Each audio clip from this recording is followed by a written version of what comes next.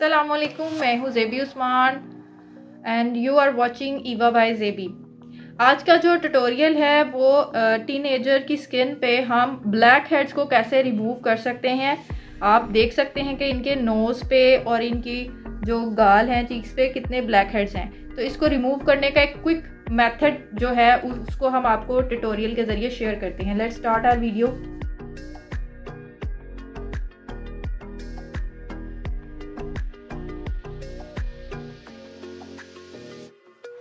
ये हमने मिक्सचर बनाया है क्लिनजिंग का, जो हम इनके फेस पे लगा रहे हैं।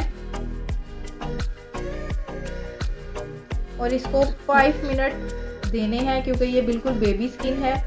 क्योंकि टीनेजर की स्किन है तो टीनेजर की जो स्किन होती है, वो सेंसिटिव होती है। आफ्टर फाइव मिनट्स हम इसको क्लीन करेंगे।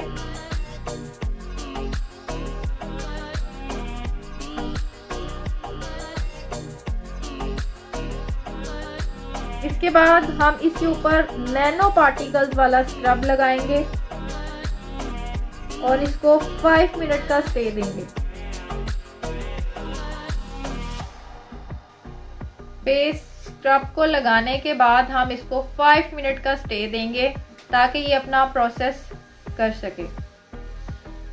इसके बाद आफ्टर फाइव मिनट्स हम स्टीम मर से स्टीम देंगे। इसके बाद हम हल्के हाथों से मसाज करेंगे।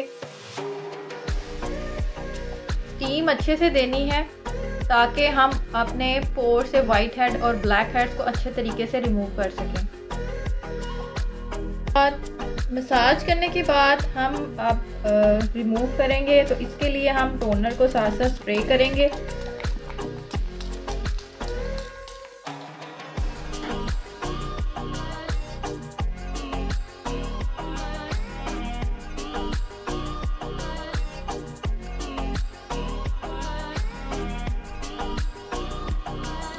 ये पोर्स की डीप क्लिनजिंग के लिए है, क्योंकि इनके जो ब्लैक हेड्स थे वो थोड़े डीप थे तो इसलिए मुझे ये इक्विपमेंट यूज़ करना पड़ रहा है।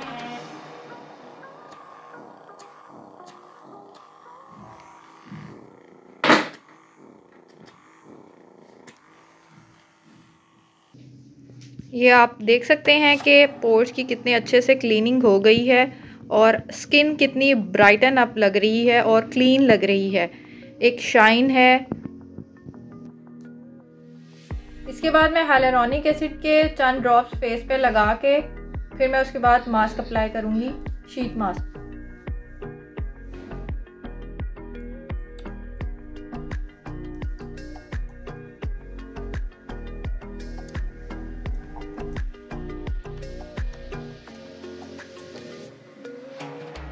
इस शीट मास्क को मैंने हॉट वाटर में डिप किया है। इसके बाद मैं फेस पे अप्लाई कर रही हूँ।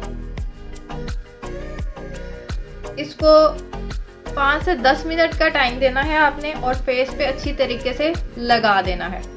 फिर फिफ्टीन मिनट्स के बाद हम मास्क को रिमूव कर देंगे और इसके बाद हम कोई भी मॉइस्चराइज़र लगा लेंगे अपने फेस पे। उम्मीद करती हूँ आपको आज की वीडियो इन्फॉर्मेटिव लगी होगी। आप काइंडली मेरे चैनल को सब्सक्राइब कर दें। वीडियो को शेयर कर दें और बेल बटन को प्रेस कर दें। फिर मिलते हैं नेक्स्ट वीडियो में। अल्लाह हाफिज़।